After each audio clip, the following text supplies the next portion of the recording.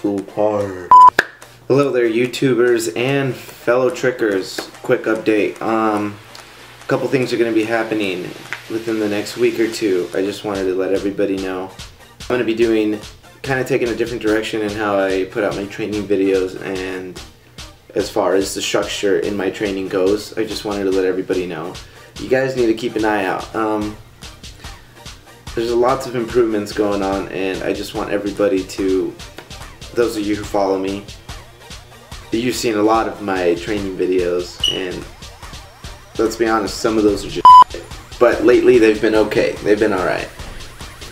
But it's time for some big improvements and I just want all of you guys to know I'm gonna be releasing things that people want to see. Not, I'm not gonna just release training video. I mean I'm gonna try to keep up with the some of the tricking trends going on out there I'm gonna do my best to train and get those things down as hard, you know, just as best as possible. Uh, so I just wanted to give everybody a quick update. And as far as video projects go, those of you who watch some of my, you know, videos aside from tricking, uh, I'm going to be working on a lot more things the, within the next few months. So those of you who like and enjoy all my other work, you know, stick around for that because there'll be some good things coming out. I'm sure you'll enjoy also. Um, a lot of good things happening. So please, please, if you watch this and you're not subscribed, take a look at it.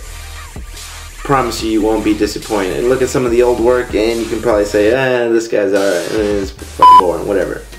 I'm telling you, you can disregard some of that stuff because I might as well just start a new YouTube channel, but I don't want to do that. So keep up to date, guys. It's gonna get pretty good. Uh, so trickers, I will see you on the gym session floor and I will be explaining in detail what I'll be doing as that goes along.